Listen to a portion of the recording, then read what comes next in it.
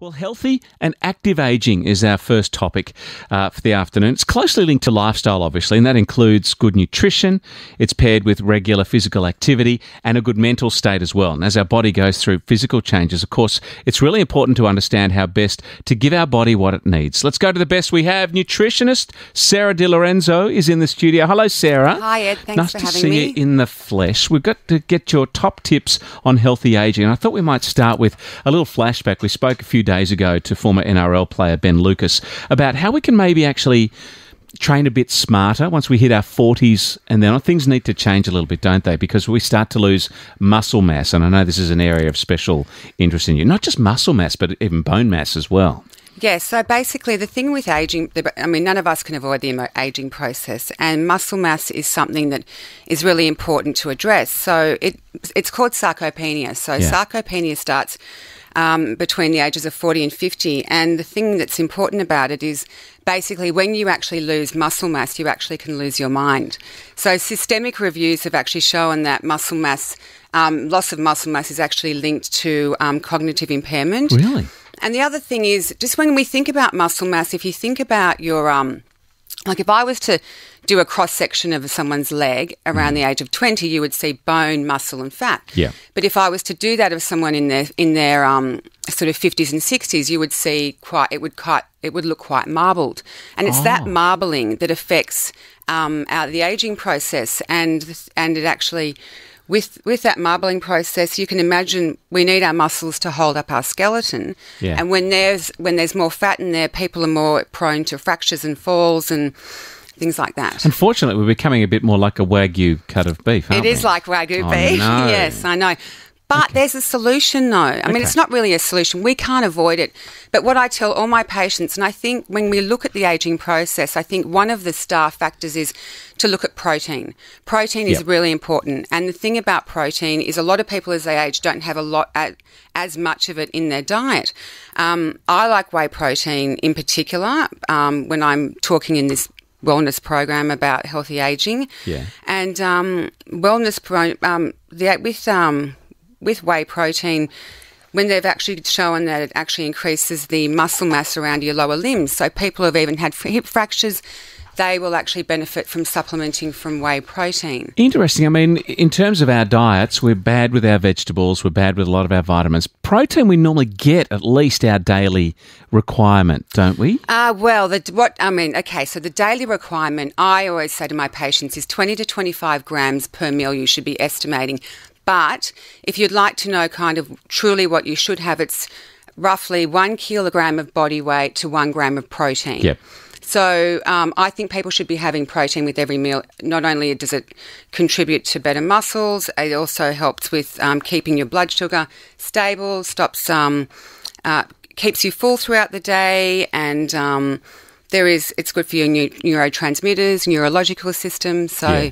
yes. But your protein uh, sourced rather from, you know, processed meats and all some of the bad ones, looking to get it through whey protein and other, and other better uh, sources, yeah? I think I think anyone over fifty uh, over fifty five should actually supplement with whey protein powder. Definitely, um, there's great ways to do it. You can put it in your smoothie in the morning. I love chia in the morning. It's antioxidant rich. It's full of it's full of um, um, protein as well. So I put scoops of protein powder through that. There is other ways, but as we age, a lot of people tend to have a, a um, less fibre in their diet, and that could just be with an unhealthy aging process. With so as we're carefree little teens and into our 20s, we're just, you know, testosterone making machines, both men and women, right? Which is what helps with our um, our muscle th- synthesis and so on. It starts to drop off from, I, I believe, about 30 onwards, doesn't it?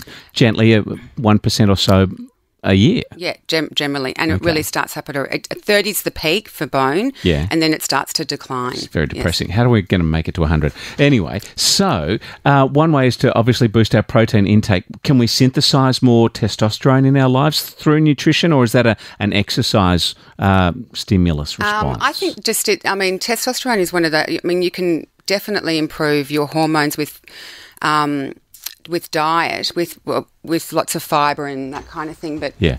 yeah. Um, I think yeah, but when when you look at the aging process, it's better to look at um, the foods you're going to be eating. And so Yeah. I'd like to talk a little bit about what I've got a great idea of and a great stencil of what I think people should be eating every day as they age from 40 on. Okay, wonderful. Let's do this. Let's get your top tips. Let's set out our uh, our goals on a plate, Sarah. Okay, so with the aging process, definitely when we look at our foods, it is very similar to the Mediterranean. But I think that um, three cups of vegetables a day, two serves of fruit a day, definitely some gorgeous, yummy, complex carbohydrates in at least two meals quinoa, buckwheat. Um, the other one I like is brown rice. Um, of course, low GI, but then we want a handful of nuts and seeds, protein with every meal, and Every um, meal. yeah, so Yeah. that's kind of like a stencil that I give people for Yeah. to age well, and two tablespoons of oils. Good. Yes, Good oils. Yeah, so that's a little like six factors that I think you can look at to age well. Okay.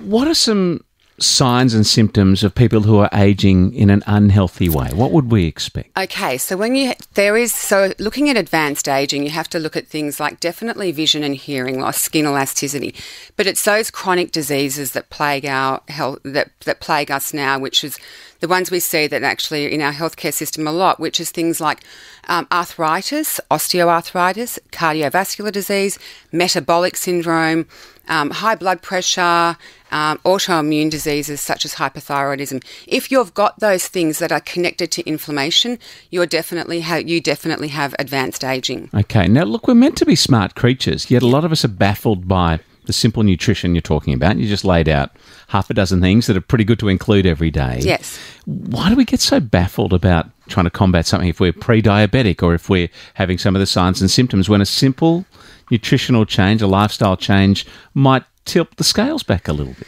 Well, the whole thing is like it's um it is it's it's actually really basic, and that's the one the beauty of nutritional medicine and what I love about nutritional nutritional medicine. If you look at all the foods, I mean, if you look at nutrient dense foods and all the all the phytochemicals in foods that help fight diseases, I mean, if you have this basic foundation and you're avoiding processed, refined foods, nutrient poor foods, you're giving yourself a chance for some for for good healthy aging. You're supporting all your body systems, and it's the way that people should really be, you know, heading towards. Well, your clients would love you because you're the nutritionist who's super fit. You actually, you know, walk the walk as well as talk the talk. Thank you. What about exercise in conjunction with your nutrition? Look, we can we can exercise maybe an hour a day if we're lucky. Some push it a little bit more, but then there's 23 more hours in the day when we can stuff things into our mouth, right? But exercise is really important for okay. the changes. Exercise is essential for the aging process. Yeah. It is essential for our bone, for our muscle mass. We actually, the thing about exercise is a lot of my patients and, and older patients who haven't exercised in their life, they sort of think, oh, I don't really want to exercise or get into programs. So I do encourage everyone, and for all your wonderful listeners out there, just start doing something that you love. If it's a ballroom dancing class, if it's a hike, just start getting into the exercise program and build into it and enjoy it and embrace it. I mean, this is your life. This is one life you have on this planet. You're Yeah. going to make the most of it. And exercise definitely for for um to to help with sarcopenia. It's it's not easy, but it's not hard. I was just talking to my best friend uh, Tuesday, and we've been Yeah. best friends. We are born two days apart, so we've had every birthday, every Christmas together, and we're fifty-one. And we're saying he was saying, "Oh, I hate getting old, and I'm like, saying, Chuck, we're fifty, we're fifty-ish, fifty-ish. We can't accept the fact that we're actually over fifty. Really? But but we've always exercised. We've always been healthy, and it's and it's a bit of a mindset too. I think he was having his early midlife crisis, to be honest.